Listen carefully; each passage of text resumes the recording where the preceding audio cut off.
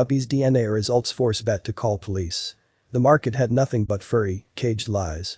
What was supposed to be a wonderful, bonding experience ended up in tears. This isn't what she had asked for or bought for that matter. What made it worse is that the police looked at her like she was an idiot. What was she supposed to do now? For Janice, living abroad was a unique mixture of good and bad experiences to connect with her Asian heritage. Her current stint as an English teacher in Shaanxi province, China, was unlike any other job she had held down before. The mixture of new cultures and cheap living would keep her there for a couple years. But there was one important thing missing. Her New England roots called to her in many ways. Growing up in the countryside, she had always been around pets. So, now, her one-bedroom apartment felt so small and lonely. She hated it. The solution? It was time to get a dog. But she had also heard some terrible horror stories about pet markets. Sick animals pumped up with antibiotics, factory-like breeding, and horrific cage conditions were just the tip of the iceberg. But when she walked into the actual pet market, she felt like she would throw up. There was no describing the sights and smells. There was no question on what she had to do next. Yes, she might be surrounded by ragged animals, but that's what tugged at her heart the most. She wanted a dog, and this was her chance to actually rescue one. There, out of the corner of her eye, she saw a moving lump of white fur. She looked closer and couldn't believe her eyes. It was a batch of white puppies. Their unique appearance immediately called to her. After a quick, excited search on her phone, she found the closest breed was a Japanese Spitz. These were rare indeed. The price tag was a mere $200. Now it was time to scam the scammer. She internally grinned as she handed over the cash to the oblivious seller and scooped up one of the pups. The next few weeks and months unfolded exactly how she imagined. It was glorious. Her beautiful snowball was perfect. But then she noticed something odd. It would be the start of a hard lesson. Elsa the pup grew quickly.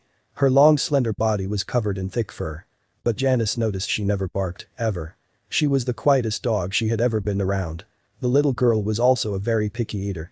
Then, one day, she refused to eat anything Janice put down. Maybe she had a stomach infection. Maybe growing up in those terrible market conditions had damaged her throat. There was no getting around it now, she had to take Elsa to the vet and find out once and for all what was going on. The news would be shocking. The expensive visit immediately started with a very confused vet tech. His brow furrowed through the entire examination. He even called in his boss. They spoke back and forth in quick Chinese, with Janice barely understanding a word. But it was the blood work and DNA that would give her the truth to Elsa's odd behavior. She held the paper in her hand, trying to read the complicated Chinese character text. But when the vet pulled out his phone and translated, Janice's jaw dropped. She looked between the paper and her pet in utter disbelief. It wasn't a Japanese Spitz. She had been raising a fox. Her heart sank as she finally understood the strange behavior, or in Elsa's case, her completely natural behavior.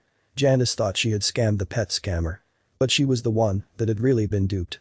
There was only one thing she could do, and it would be so painful. A tiny urban apartment was no place for a wild animal.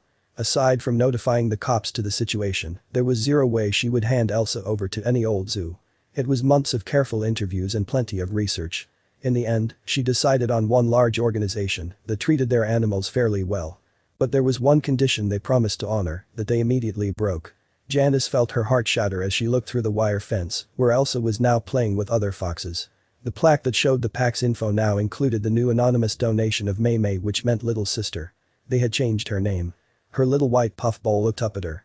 Janice wasn't sure if there was recognition there or if her past pet was just looking around at the gaping crowd. But as the little girl jumped and ran about, Janice slowly made peace with the situation. She looked very happy and that's all she could ask for.